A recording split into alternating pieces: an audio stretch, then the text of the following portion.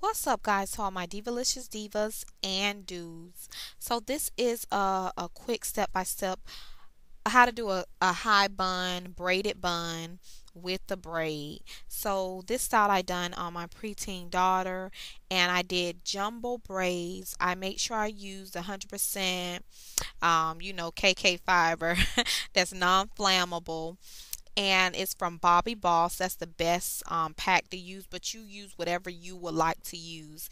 Um, it might be a little bit more than the 99 cent packs of hair, but it's um, a better quality. Um, so I use only one pack. So this is a quick and easy style to just uh, a quick quick do to go and get up and go.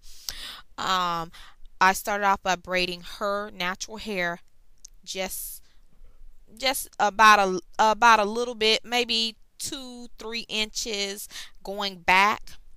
Not all the way back. I braided her hair, as you'll start seeing in the pictures.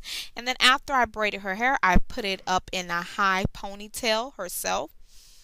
And then when um I was um done, okay, I want to make sure you know that I use the weave um, to braid her hair back um, as you can see how many braids I braided her hair back with and like I said it may be about three inches back.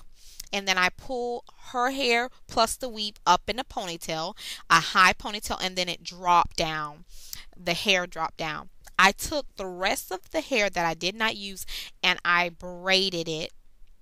And I burned the ends and then you can make sure you can do small or big braids depending on your preferences whatever you like. Um, but I did a smaller bun because she's a younger teen and I didn't want to have too much going to school.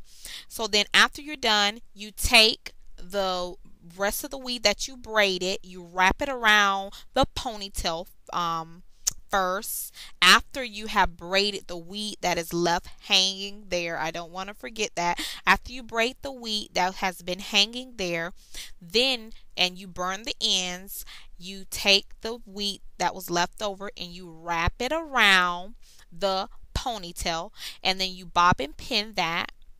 Um, you when you first start off, you could either wrap the missing the opening or you can bob and pin the opening and then wrap the leftover weed as you'll see in the pictures. Then you take the last um, braid which was the braid that was in the ponytail that you braid the hair into and you wrap that around in a fancy little bun on top.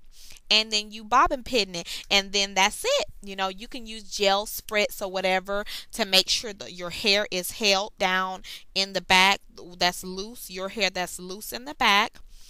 And you also make sure that you wrap it with the silk wrap um, overnight so the child or the teenager or yourself can um, so it can look neat and nice. And then I also make sure I sprayed it with the um, sheen just to give a little shine going on. And that was my like a quick a little invention that I invented. I didn't see anyone doing this on YouTube or anyone thing. I just came up with um, something popped into my mind, something quick for my daughters um, for me to do, and I just wanted to share it with you guys. Um, I like you, like I said, you can use color if you want, but since she's uh, preteen, I don't want to use color in her hair. I wanted to use um, a 1B. But I thank you guys for watching and supporting. Remember, you're at your best when you're being you, because can't nobody be you except you. This is Fashion Diva TV.